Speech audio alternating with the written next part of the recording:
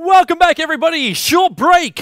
Gotta love it when teams are ready to go straight into our next game, and that's what we're going to be doing. Virtus Pro has stepped up to the plate to go up against Osliki Gaming. It's a full Russian affair, so if you're not ready to be, well, well, fully Russian, then, uh, yeah, don't stay here on the live stream, because if you want to be fully Russian, you can stay here on the live stream. You got my permission to do so. Uh, but yeah, let's get into it. Let's get into it. Osliki Gaming uh, for game number one will be over on the die side. Virtus Pro over on the Radiant side. Tinker and Doombringer high on the ban list there for Osliki Gaming and Lycan and Brewmaster high on for VP. You'll also notice too the lineup which is there from VP. Oh, you sons! I wanted a Core hero. I don't want, just want to see the Skywrath Void combo. But okay, I'll, I'll accept that. Void, Razor, Skywrath. We're doing TI4 again. Uh, BZZ is 633 Jotm. God, also known as Sergey. Uh, LGD International, former player. Uh, Sedoy and Yol. This is basically the new lineup of VP. They've been playing all the competitions with it. You may as well class them as the official lineup. It could be a little bit of a teething kind of thing of like a, we'll just get to see if like you grow into your role kind of thing, and, and then we'll decide if we're going to keep you or not, because sometimes things don't 100% work. But this looks to be the roster for Virtus Pro in, in the uh, for the future. Remaining. So well, I'm looking forward to seeing how they perform tonight. They've played a couple of open Five qualifier matches remaining. and done fairly well during these matches. But uh, yeah, let's see how we go. So Osliki Gaming, time. the Razor and the Earthshaker early pickup because you have you might know Big Num Judo, uh, Chomi, Obi Wan Bananan, Bananan, and then Vixel. Yeah, we call him Ink for short. Yeah, Osliki Gaming. These guys have been around for a long time. They're a they're a tier two uh, CIS team. They find themselves in a lot of open qualifier games uh, and competitions like Gigabyte Challenge, for example. They, well, I see them a lot in that. Uh, so yeah, they've, they've been hovering around. They're one of those teams that was always like PR. They they played a lot of Dota. Sometimes they'll beat a top team and everyone will be like, "Oh, did you hear about did you hear about Osliki Gaming?" And then like next week you've completely forgotten who they are. Like that's something which happens with these guys. So it's unfortunate sometimes, but hey, you gotta gotta tell the truth here on the live stream. Seconds remaining. Shaman being banned out. I'm okay with that one. Krob also being removed here by Osliki Gaming. Remaining. Krob and uh, well, and Invoker too, but Krobelus mainly great hero to go up against Razor. You basically ignore that damn shield of his, and you're able just to mop him up with the physical damage that comes out from your from your ghouls. So that's a nice way to focus it. Uh, the Earthshaker was already already going to cause some problems for the Krob though, because like staying close when you got a fissure blocking the two of you, a little bit more difficult. But the Eul Scepter would have been really nice uh, to evade either the Earthshaker when he first jumped in, uh, or the Razor, put him up in the air and just run yourself away from the static link. And then there's two for VP with their lineup. Every single hero has a has a way to escape the Razor. Concussive shot from the Skywrath. Maybe not always the best choice, but it could work. Um, faces void of sleep. Mirana has a leap. Five seconds. Mirana also gives a buff up to the rest of the team. So that's another nice little perk. And the Chrono is going to make sure that someone is most definitely held in position for a very long time. So the arrow connection also shouldn't be that difficult for Virtus Pro to hit. And I do I have to? I'll say it anyway because we like repeating ourselves here on the live streams. Chrono with Skywrath Mage Mystic Flare is a wonderful combination. It's able to get kills, you burst down heroes, and heroes like Vengeful Spirit, she's scantily done, and she will be remaining. completely done. Phrasing. Five Horrendous. That's not even English. Like, that's like, that's like, not English. Yeah. VS will die very, very quickly under the bright lights of the Mystic Flare. That's what will happen.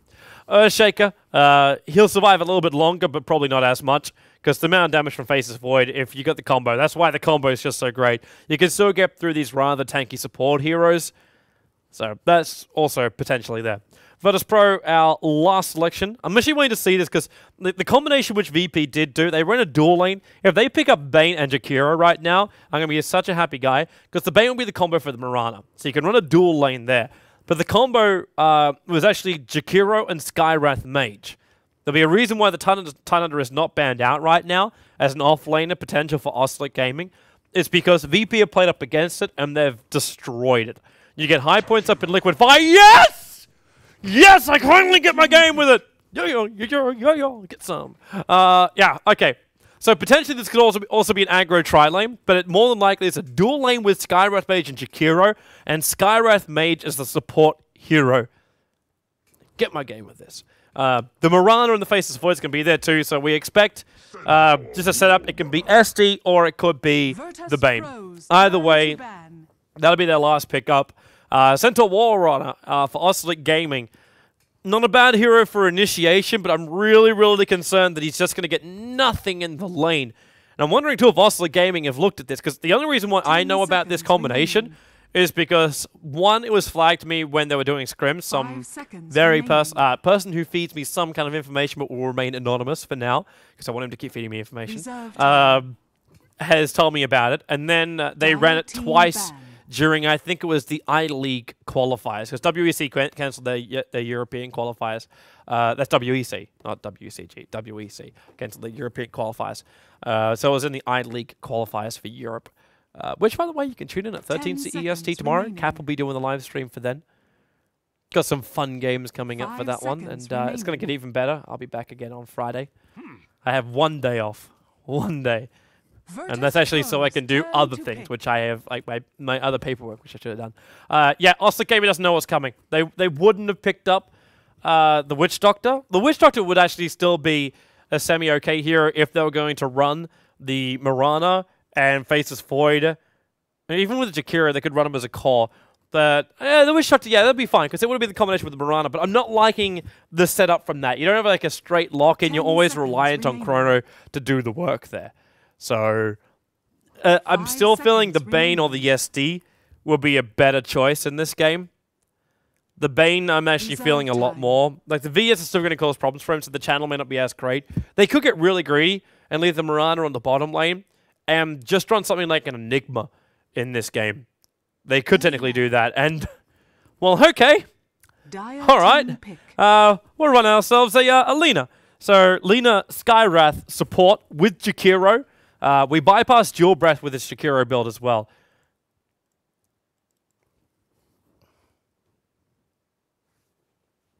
Because he just goes straight in for Liquid Fire and like Ice Path, Macropyre, and just basic damage. It's, it's actually kind of funny with Jakiro because Jakiro is, uh, I believe I'm, I'm correct in saying this. There may be seconds one hero that's above him, but as far as strength gain goes for support heroes, Jakiro, I believe, is number one. So he's actually really, really difficult to kill off in the early stages. so you imagine a. Centaur trying to jump in. It's like, oh, I support Jakiro. Wow, this guy's really hard to kill. Imagine if you try and run Jakiro with this type of build with uh, with stat gain. It's really, really difficult to kill. Razor as well. He's going to have to deal with Liquid Fire, Frost Blast, and then battling up against Jakiro inside a high level Liquid Fire. And you get Jakiro to a point where if he can actually get Aghanim Scepter upgrade, he could be destroying everybody. But the Jakiro himself, uh, prob- like the games which we've seen of this combination, they've never gone late. They've been over in 20 minutes. So Osliki Gaming.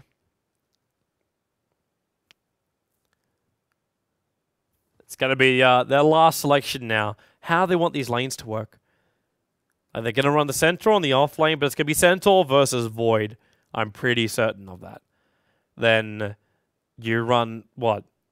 Mirana in the middle lane as a core? That's where I, I would think this would go, because you still need to have an escape mechanism on the hero who's going up against the Razor. And then your Jakiro, Skywrath. Yeah. Yeah, VP can do that. So then Osler going out to work out, like, who the hell are they going up against? You could try and run a dual off lane, but you- Earthshaker and Centaur together wouldn't really work.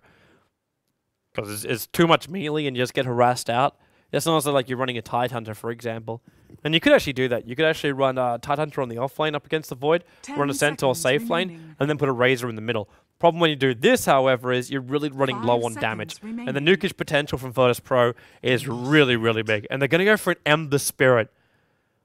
Alright, he's able to tank up a little bit more because of the Flame Guard. It's a nice global hero, but I'm still concerned for him once the Flame. Guard dies. Wait, did they just fortify their own structure by accident? Whoops, that's on cooldown for five minutes. Suppose there's going to be no... Actually, remember Jakiro? I say there might be no push for five minutes. Jakiro himself, Liquid Fire, did so much damage to towers. This is why their games end within 20 minutes. Like, you think, oh, VP doesn't really have that great a push lineup. No, they have a great push lineup because they have Jakiro. Yeah, four points up in, in Liquid Fire very early on. So we got an offlane Centaur. So he'll die. We get God. Uh, so Lina will take uh, middle lane. And Cedo will have to go towards the off lane. They might switch BZZ around to go up towards the top lane, but it's highly unlikely. Yol will just stay with him on this bottom lane, and we go the Winged Fiends, the Winged Dual lane. And Jotm will get to go in towards our support role. And he could just fish for the arrow, which would help set up for, for the VP safe lane. Yeah, I'm really not sure about this Ember either. Being underneath the Skywrath Mage, like Ember Spirit might be able to tank up a hell of a lot, but when he gets sealed and Mystic Flared and Laguna Bladed, he will not survive. And then, I suppose if you use all of that, then you got Razor and Centaur having a lot more life points because all those nukes have been used on other targets. But then again, at the same time, we know Mirana's still, like, she's not going to find large points of damage, but you're going to face this void chronoing you up and holding your position for a long time Battle after you've already got liquid fire. So BZZ's primary objective now has got to be to make sure he hits level 6 very early on, and Yol's going to make sure that happens by stacking pulling. Goal of these two boys. Jotm is just a rotating arrow. He's going to get spotted out by this dire observer ward, which is why these pings are coming out. But God running a solo mid Lina. Ah, it's been a while. Well, it's, it's Flame versus Flame here. And what does he level up first? So he goes for the Slave. and Flame Guard from Chomi straight away. Just the actually the harassment with the Null Talisman. Look at he's at a half-life. Ember Spirit is at half-life. He went Flame Guard to start with, so there's no Searing Chains. There's no Sleight of Fist for farming. And God is physically harassing harassing him out of the lane with 57 plus 3 damage. Why was Lina pulled off the mid lane solo again? Remind me of this one. Especially with her cooldown of her ultimate. If she gets an Aghanims upgrade, you're pumping that out all the time. Like the Aghanims upgrade, separate damage up to 1250 on the damage from that. Good burst damage. She's great at pushing as well. Get this girl some arcane boots. Okay, Sedoy is he's trying to soak up a little bit of the extra experience. As he keeps backtracking out the Vengeful Spirit. He doesn't have time lock, or else he might consider turning around uh, to battle that one out. And see Jakiro. Liquid Fire as well as uh, Ice Blast. Liquid Fire cooldown is pretty high for the early levels, which is why I was talking about like the Skywrath Mage giving him more space. Because you want to get to that level 4 on your Liquid Fire as early as possible. Level it over Ice Path as well, so you can do this kind of stuff. It's just tick damage and basic harassment, and your mana cost is so low. Like, you get Ring of Basilius this early on, it's 90 mana for an Ice Path, which guarantees you an extra couple of just like chip damages into the Centaur. But the Liquid Fire is what's really doing the, the heavy lifting, and it costs you no mana. So you're only spamming out 90, 90 mana worth every potentially 12 seconds. So your ring will take care of that. I think Centaur, okay, well, Invis Rune, this might be able to do some decent work up against God. Lina, of course, maybe one of the reasons why she's not played in the middle lane a lot is because she's uh, very susceptible to killing. Uh, I mean, getting killed. But at the same time, Centaur, like that's a full life Lina with a null talisman, so it's not that easy. She's got two armor. A Hoof Stomp into Searing Chains could do some work, but the arrow is also going to fly out now from the Mirana, and that's going to get the hit over onto the Ember Spirit. He can't get the Searing Chains. And with a Light Strike Array as well as a Slave, Lina ends up ends up returning more damage into these guys, and they waste a Regeneration Rune. And again, the hit uphill finally will miss. But Jotm's coming up for the... Oh, okay, Smoke Reveal, get out of there. He has no leap. The Fissure and VS stun. VS can't get... Okay, now VS can get in range, but there's no follow-up. You throw a Fissure, you get a stun, but Ember Spirit is in no position where he can run himself to the side lane and do something about this. Alright, Skywrath Mage is going to now harass Judo out. These guys are at, uh, at level 3 apiece. I, I know I've kind of been like a bit, bit, bit of a negative Nelly in this game, as far as like Oscillate Gaming goes. But I'm just seeing an Ember Spirit losing a get lane to Alina. It's 5-2 up against A Team 3. Come on! Like, he's the physical damage, even with his down shield, he's praying for a proc. But the physical damage out from Alina, she's... I, I'm really not sure about this Ember. I'm really, really not sure about this Ember. Now, Ice Path on the bottom, Liquid Fire as well, with the Seal, with a concussive shot, is double slows. And this is why Centaur lanes... Judo is dead. That's First Blood. Skywrath Mage will take it. He can pick himself up some boots. He's still got clarities available, in fact, three of them. And we have a level 4 Jakiro on the field. While Lena, okay, Gol will take a little bit of damage from that, but the level 4, uh, 4 minute rune is going to be a regeneration on the top.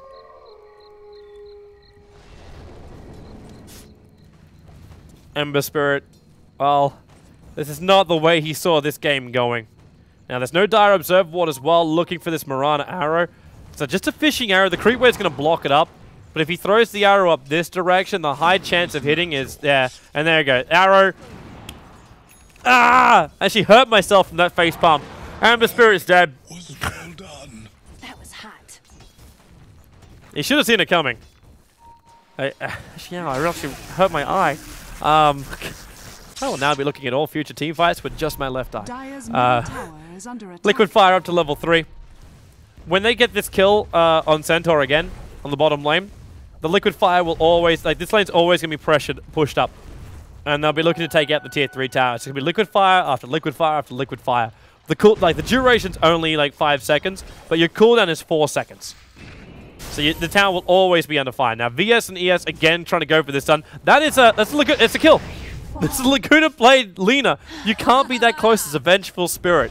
You get destroyed. Now, Liquid Fire, he's going to throw it over towards the Centaur. The Ice Path is a little bit too short here. But the Centaur has just lost one third of his life points. Let's make it half of his life points to one Liquid Fire and one. Actually, that was only a concussive shot. And you'll see this tower. This is what Liquid Fire does. Because you think about it, the damage over time. You're doing burn damage of 25 against the tower over duration of 5 seconds.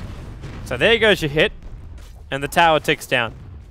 Obviously, it's got some level of protection, but this is what happens when you push it 6 minutes in with this guy. It looks like Void's having a little bit of trouble. He took a fissure, and now Arrow will connect. There's no Starfall. It's just keeping Ink in position. And Sedoy just keeps at the back line. He's not level 6 just yet, but nice rotation coming out there from Jotm. Making sure there's always that Mirana support.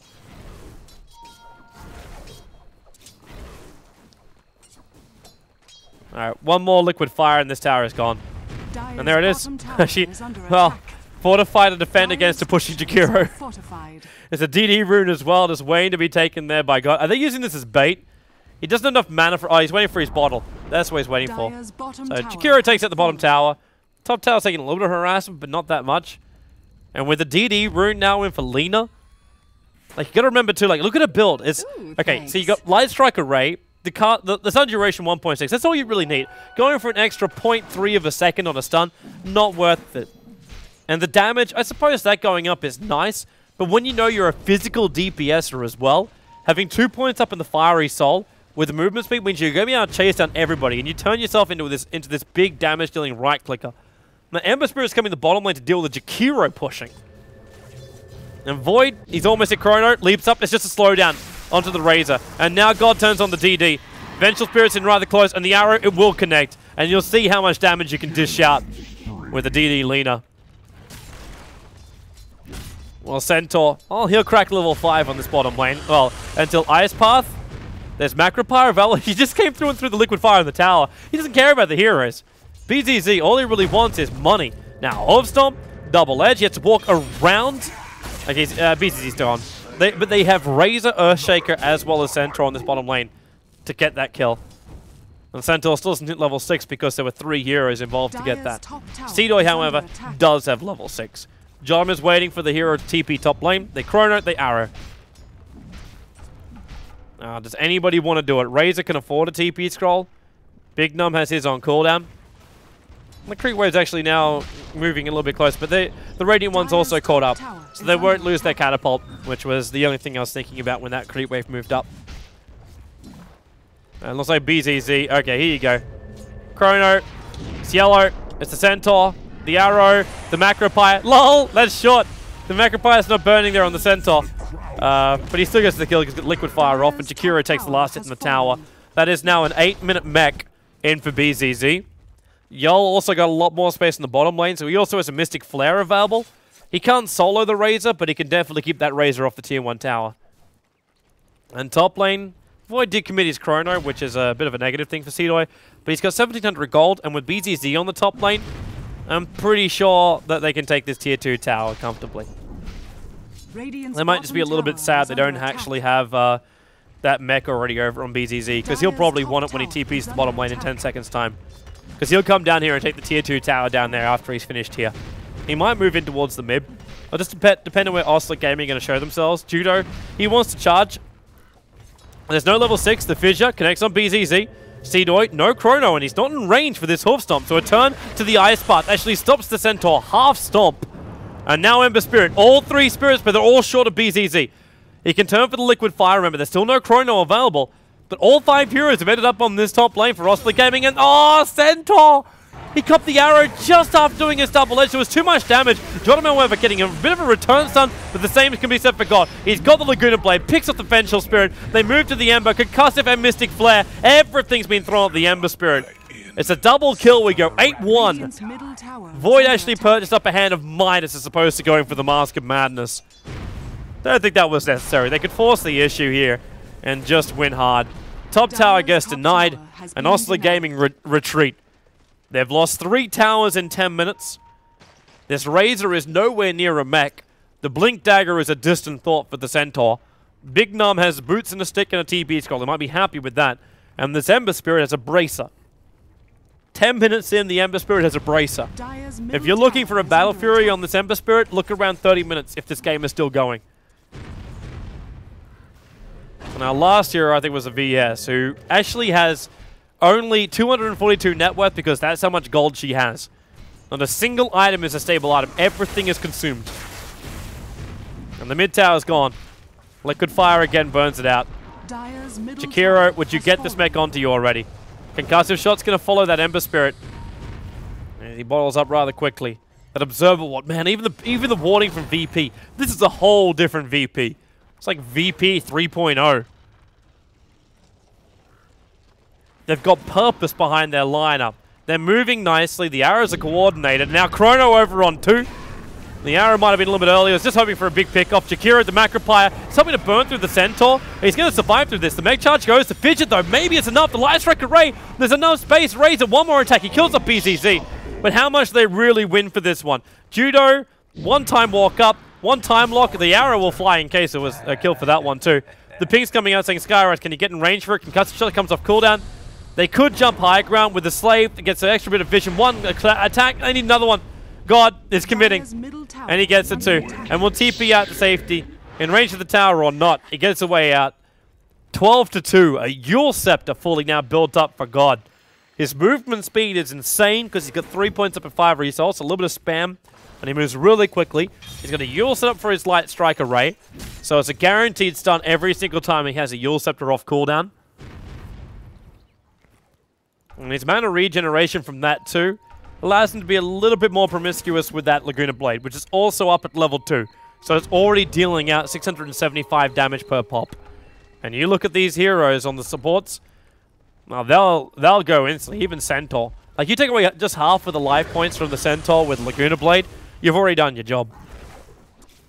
Looks like Jakiro's going to build into a 4-star after getting sick of these fishes and getting caught out of position. He could also build in for Necro units if they're thinking about pushing high ground, but right now, just winning a, winning a fight allows them to push high ground. So that's all they really have to do.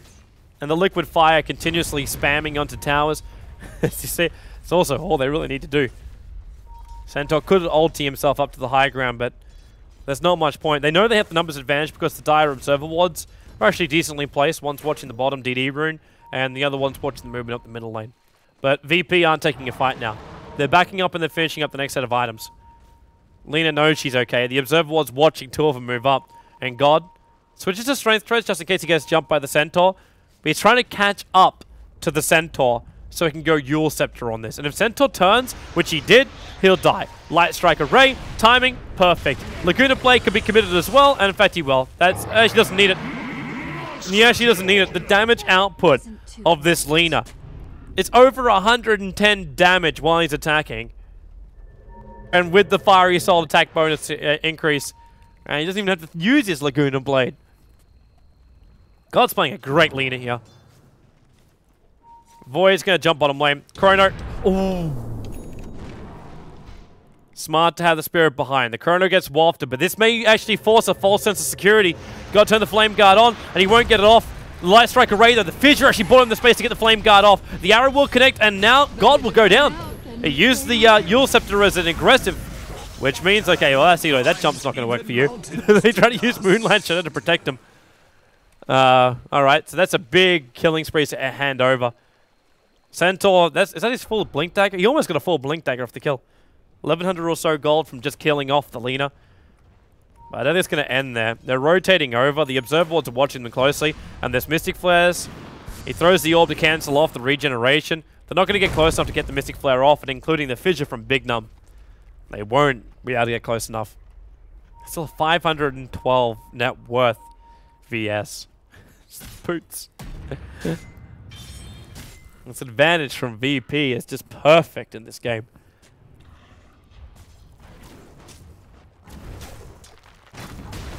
Now with a medallion out from Jordan. Again, all this all this lineup from VP need is the ability to get a snipe off. Are they getting one right now? Okay, they're attempting one on Ember, Ember Spirit. I'd say attempting one. Skywrath Mage is solo attempting one. The last out of tower. 15 minutes and 4 seconds. Mark it. Dire's bottom tower has fallen. the time of death. Jot him another fishing arrow. So Dire Observe Ward up on the cliff now, so they can they can see these coming from a mile away. Interesting Observer Ward as well from VP.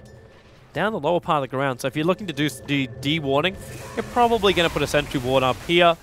Or look for wards in like this area, this area, a little bit off to the side, or just smack bang in the lane. But you're definitely not going to put a sentry ward for the other position. God's moving up. Eul Scepter on the Earthshaker. The arrow is going to be the combination with the Light Strike Array. And you got Ember Spirit looking at it. Under where is that? Ember Spirit's blocked. He has to use a Spirit to bail. And God, just by spamming a little bit, like there's not even a creep wave there. He just wants to spam up so he can keep the fiery soul, soul stacks. Movement up towards the top. It looks like uh, Sedoy is not going to allow this top tower to fall. Uh, sorry, I should actually mark now 16 minutes as the time when all outer towers go down. Once I correct, can correct myself. What do we got coming in on the courier? Alright, so staff wizardry. We have a rod of Owie over on the Jakiro. So no force stuff, more control, and a lot of survivability. This is a, about to be a level 10 Jakiro, who's currently walking around with 1400 life points and 12 points of armor. With, the, uh, with building the mech, of course, that's where a lot of the armor comes from. On what? They're gonna... Where's your trade-off? This VS is so far up. For someone with no net worth, that VS is so far up. The arrows are coming up towards the north. So is this going to be VP's push time? There's a big circle coming out there from God. I think that's like, can we get more vision around here? Because at this point, the sentry wards belong to Osliki.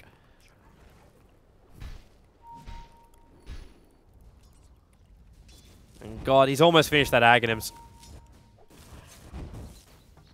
700 gold. And you'll see what I'm talking about as far as farming goes. He's probably just going to get Slave, Light Strike, and then just Speed Attack. So much, so much damage so quick. And you can normally do this with any kind of support. You don't really have like the, the speed attack, like the power from attacking by by having it on a support because you don't get things like Eul Scepters this early on. But what you're able to do is just with Arcane Boots, the mana is all you really require.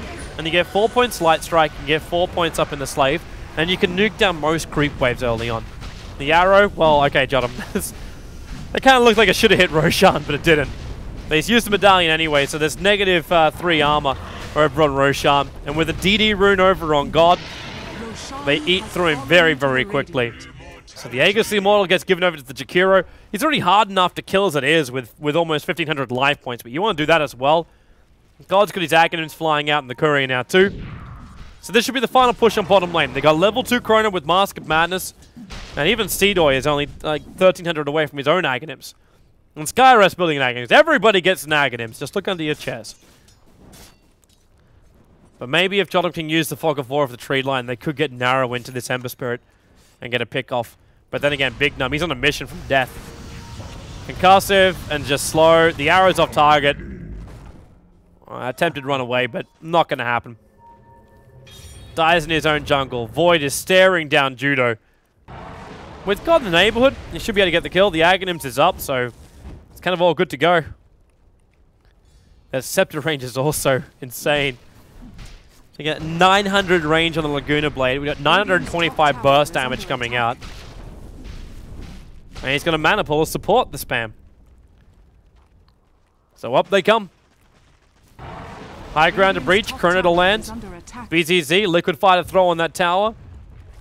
Also slows down the attack of the tower, which what makes this such a, a great pushing ability. Now Void, he got only one, but one might be all it really requires. Goes for the for the Razor. VS swapping him out. Now she got the Meg charge off because of this, but the Centaur burning in the Macropyre. And the orb damage from the from the Skywrath Mage able to get that kill. So VP did throw every single ultimate they had at this, but still, is under attack. so did, well, Osliki didn't. They still have the Echo Slam, but Big Num, he's got no way to get close enough to let the damn thing off. The Centaur ult is going to be the only other way to do so, but he's dead for another 11 seconds. So they push him. More slave damage, more spam coming out from God. As Eul's off cooldown in 28 seconds time. The liquid fire spam continues on this mid tier 3 tower. Send up in the air. Whoops! That was a bit of miscommunication. But Light Strike Array will still connect. But God not seeing the arrow coming in from the side. Normally it's the Euls that sets up for, set, sets up for the arrow. But they decided to go the other way around this time around. Alright. Laguna off cooldown, 4 seconds. Man, they actually need to get more mana into God. yes, he doesn't have enough to keep spamming this out. Arrow connects. Woo! There goes the life point. Centaur throws the ulti out, but where's the Echo Slam? Yes, there's not enough mana. He's back behind the line, He's got nothing left. Laguna Blade thrown in towards the Ember Spirit.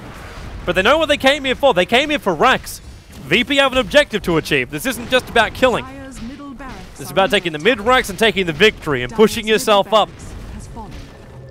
to a date up against Team Empire. The Ice Bar Centaur walked back into it. He wasn't initially caught in it. Now the Earthshake. Hey! Echo Slam does the work, but Jakiro, the only one to die, and the Agams will drag him back up again. One more attack, 52 life points. The Slave, in fact, from God will get the kill. They're low on life. The BZZ is back in full life. He's happy to fight this one.